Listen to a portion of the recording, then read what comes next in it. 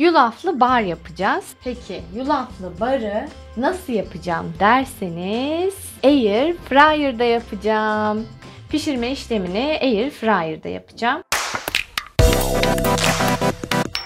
Şimdi ben buraya şu şekilde malzemeler hazırladım. Bunların içinde ne var derseniz. Bunun içinde bir çay bardağı kurumuş erik var. Bir çay bardağı fındık. Bir tane cennet hurması. Bir çay bardağı kurumuş elma. Bir çay bardağı kuru üzüm. 10 tane de bütün ceviz var arkadaşlar. Bunları robottan geçirdim. Şimdi kabımıza alıyorum. Şimdi eti yulaf ezmesinin ince öğütülmüşü ve yine eti yulaf ezmesini normal olanını aldım. Bu normal olandan bir su bardağı koyuyorum.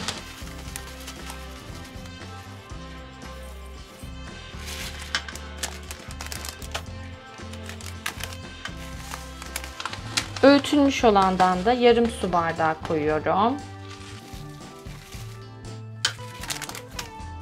3 yemek kaşığı da pekmez koyacağım.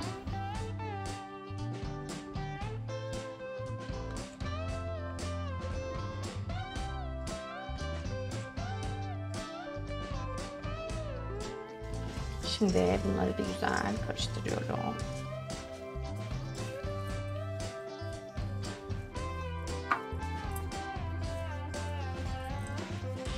Son olarak da bir tane yumurta ekliyorum. Şöyle gezdireceğim. Yumurtayı bir bardağın içinde çırptım. Evet gördüğünüz gibi biraz böyle yapışık bir kıvam aldı.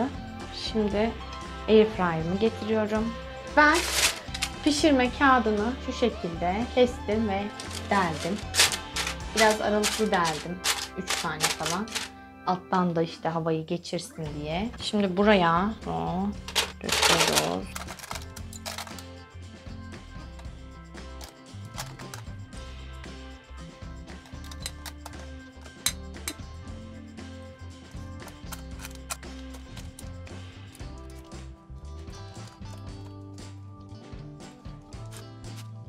eşit şekilde inceltiyorum. Tabana yayıyorum. Üzerini düzüyorum şimdi de. Dilerseniz tarçın da koyabilirsiniz içerisine ama ben tarçını çok sevmediğim için eklemiyorum. Tamamen düzledim artık. Şu şekilde görünecek.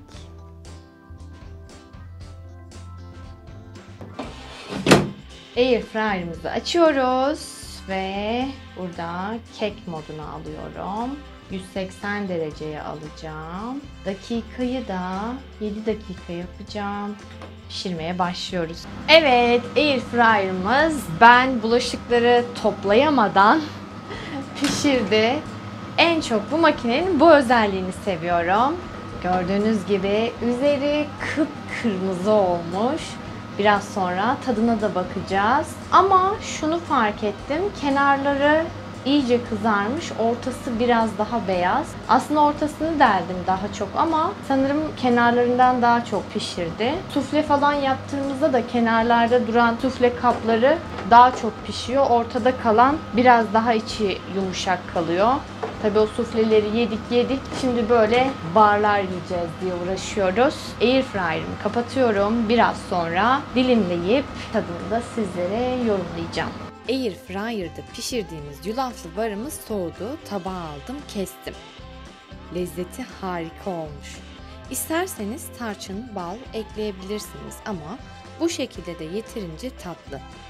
Kıvam olarak biraz parçalanıyor. Normal barlar gibi elde katı halde durmuyor.